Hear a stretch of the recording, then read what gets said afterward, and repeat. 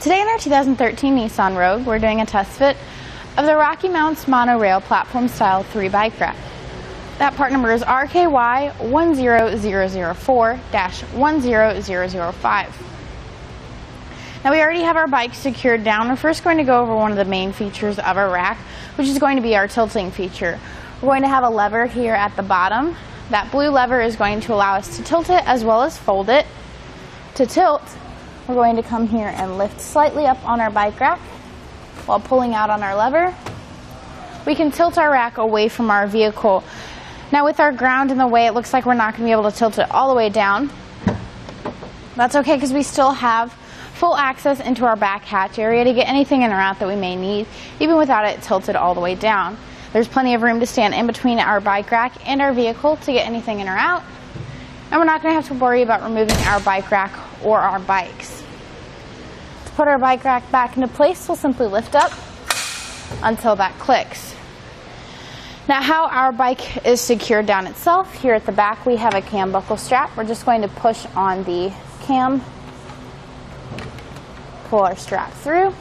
At the front we'll have a wheel hook. This sits either in front of our brakes or in front of our frame depending on how our bike is made. Push on the button here at the bottom and lift up to release that. Pull straight down to ratchet that down. With those removed, we can take our bike off and set it off to the side. Now, one great thing about our bike rack is that this does actually accommodate fat tire bikes up to five inches in our cradles here. We're not going to have to worry about needing any other accessories, and you will have an additional strap for the back tire to secure that in place. Our front cradle, cradle also folds down in a more compact position for easier clearance. Now we'll take a few measurements here. First is going to be overall. This will be what we're adding to our vehicle. That's going to be about 41 and a half inches. Our ground clearance here at the back is going to be about seven, excuse me, 18 inches. And our closest point is going to be about seven inches away.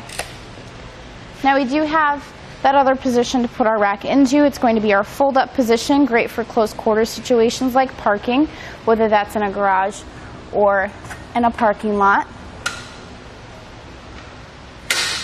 Once again, pulling on that handle and lifting up until it clicks.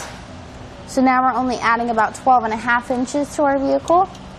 Ground clearance of about 10 and a half inches. And our closest point is going to be about two inches away at our ratchet hook there. Now as for our hitch, this is designed to work with two inch hitches only. We're going to have a couple locks that come with our rack. First will be our cable lock that wraps around our bikes and secures here to our boss lock. This lock on the end is going to be key-alike to our hitch lock, which you'll see here at the back. That also has an anti-rattle bolt connected to it with that anti-rattle bolt completely tightened down. It's going to keep a lot of shake and play out of the rack as you head down the road. So that's going to be our completed look at the Rocky Mounts Monorail Platform Style 3 Bike Rack, part number RKY10004-10005 on our 2013 Nissan Rogue. Here it is on our test course. We'll start by going through the slalom. This is going to show us the side-to-side -side action, which simulates turning corners or evasive maneuvers.